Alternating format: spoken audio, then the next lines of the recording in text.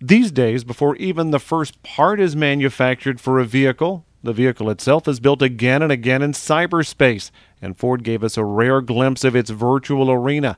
Now, this is where they have a full stockpile of parts and are in the process of having all the specs of their plants put into a giant computing system.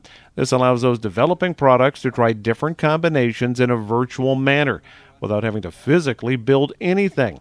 We talked about it with Dan Hedl, who's chief engineer of Ford Vehicle Operations. How does this help you over previous ways of, uh, of developing a product? What this does for us is we're able to build the vehicle in a virtual sense long before we've built the first physical part.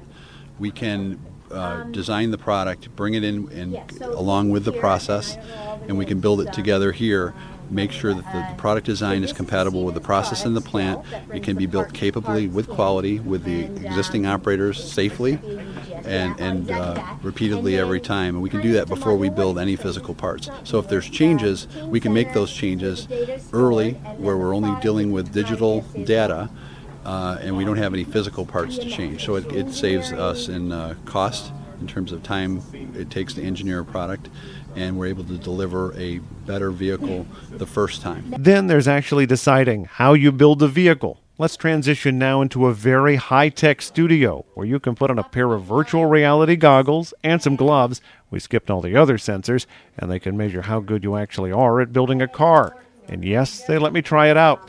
Now, first impression, it wasn't easy to put on that virtual reality helmet, especially when you wear glasses like me. I didn't tell the Ford people that my claustrophobia was acting up a bit, as was my motion sickness. When you see these pictures right in front of you, it's very different. And for those of us not used to a virtual environment, it takes some getting used to. You only see what the sensors pick up, and that allows them to also add in some things that aren't really there. It's all part of the training and the measurement process. Now, my task was to pick up a center console and install it. And I don't really know if I could do this several hundred times a day. It gives me a new appreciation of the people who do.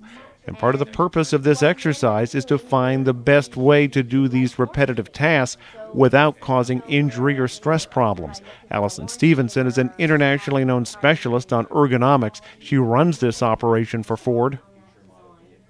I often thought that everybody would do a job the same way. That is totally not true.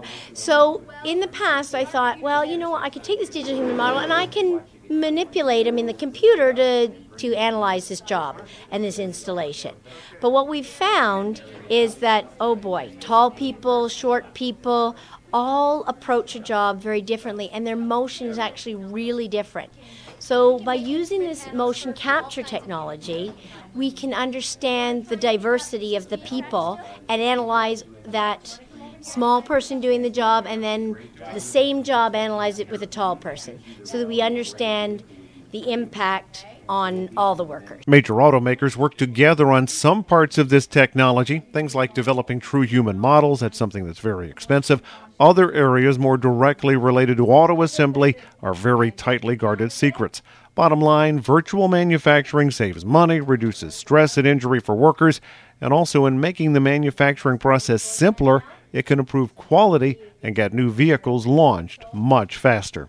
I'm AutoBeat reporter Jeff Gilbert.